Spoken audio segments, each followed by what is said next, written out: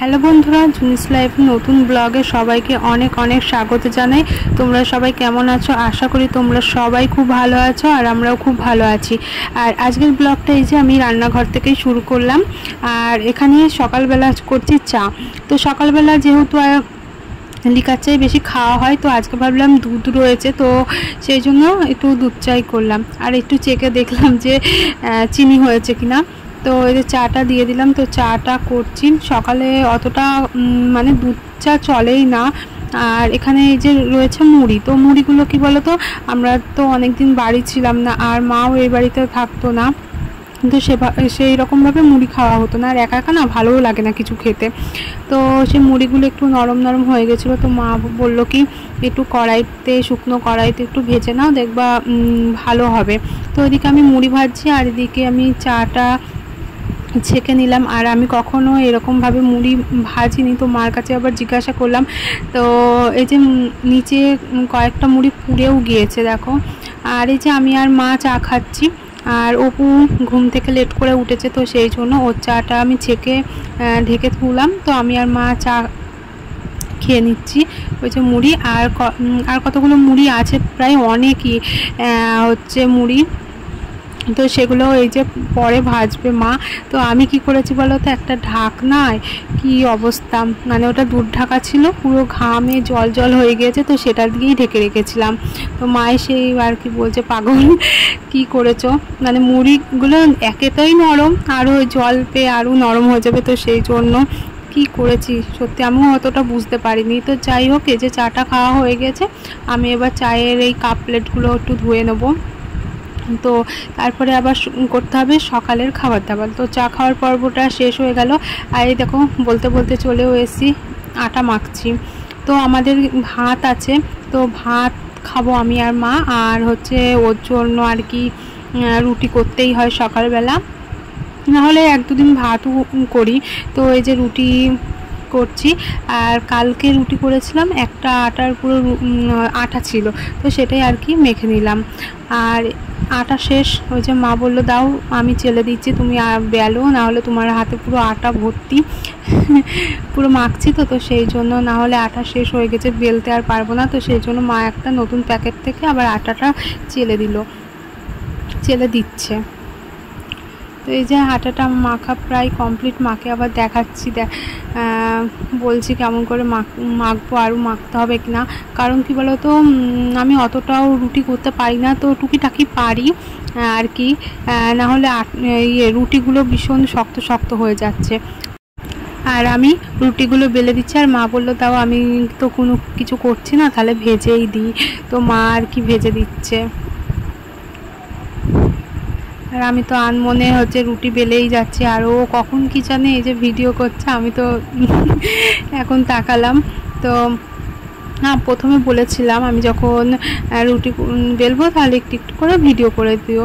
তো যাই হোক এবার রুটি টুটি করে অনেক কাজ আছে, আর এই আর এখন দশটা বাজে, তো এই যে আমার স্নান করা হয়ে গেছে। আজকে যেহেতু বৃহস্পতিবার, তো সেই জন্য সকাল সকাল আর কি স্নান করে আমি পুজো করে নেব। মানে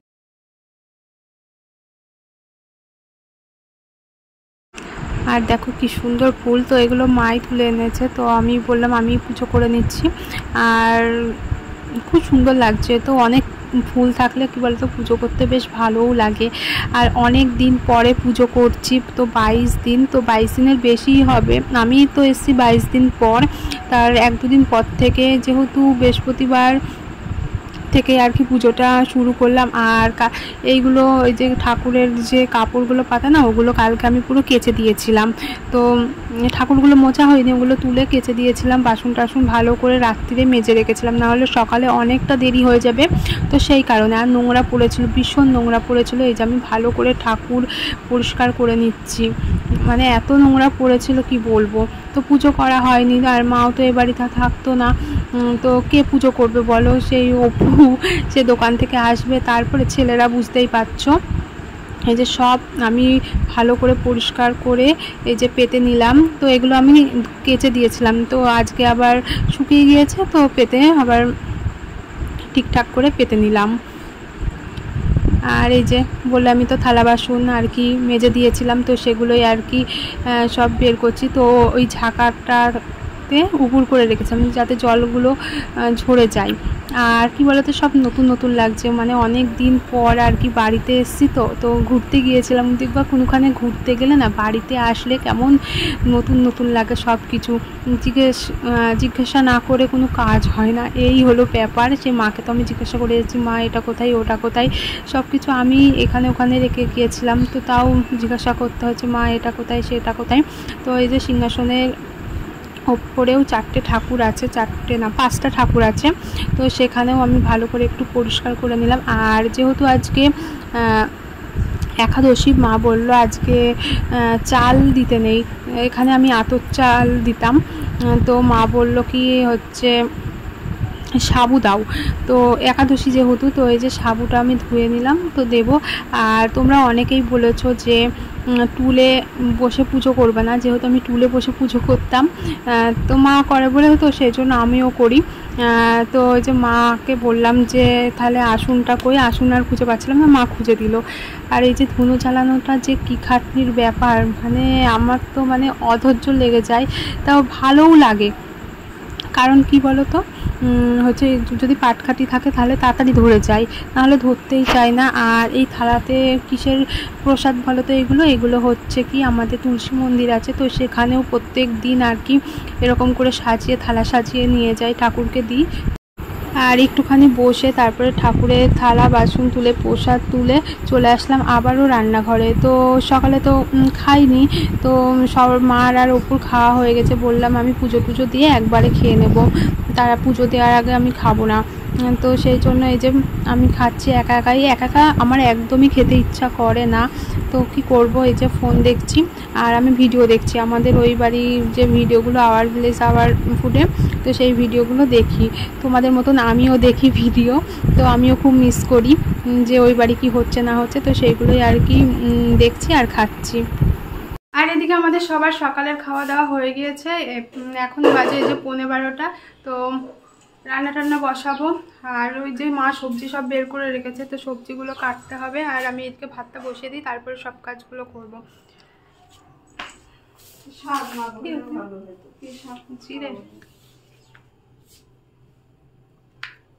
শাক নেই তো। আর এদিকে আমি ভাতটা বসিয়ে দিই। তো ভাত হতে হতে ওইদিকে তরকারি টরকারি যা যা কাটাকুটি গোছানো, মশলা টশলা সব ওইদিকে আস্তে আস্তে করে দেবো আর এদিকে সেই অনেক দিনে মশলাপাতি তো আমরা তো বাড়ি ছিলাম না, সেই জন্য অতটা রান্না টান্নাও হয়নি। আর মা এদিকে সব কিছু রোদে দিচ্ছে, এই জিরে জিরে রোদে দিল ওখানে সর্ষে।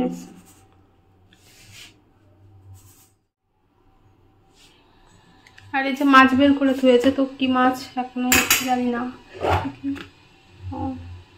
এই যে পমপ্লেট মাছ আছে, আর এদিকে ছোট ছোট অনেক রকমের মাছ আছে।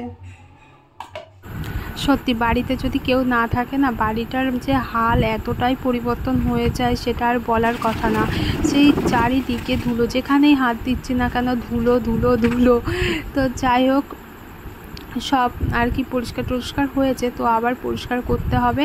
আর মা বলল যে, আমি হচ্ছে দাও সবজিগুলো কেটে দিই আর তুমি মশলাটা করে না, করে নাও। তো আস্তে আস্তে মা ওই যে সবজিগুলো কেটে দিচ্ছে আর আমি এদিকে মশলাটা করে নেব। তো এই যে শিলটার অবস্থাও সেই রকম হয়েছে। ভালো করে একটু ধুয়ে নিলাম।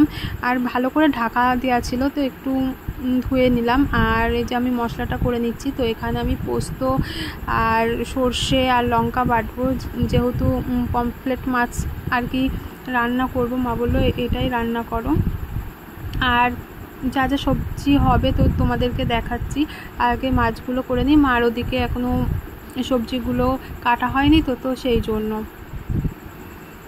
যে আমি মাছগুলো ভেজে নিচ্ছি। একদিন তোমাদেরকে দেখিয়েছিলাম রান্নাটা কি।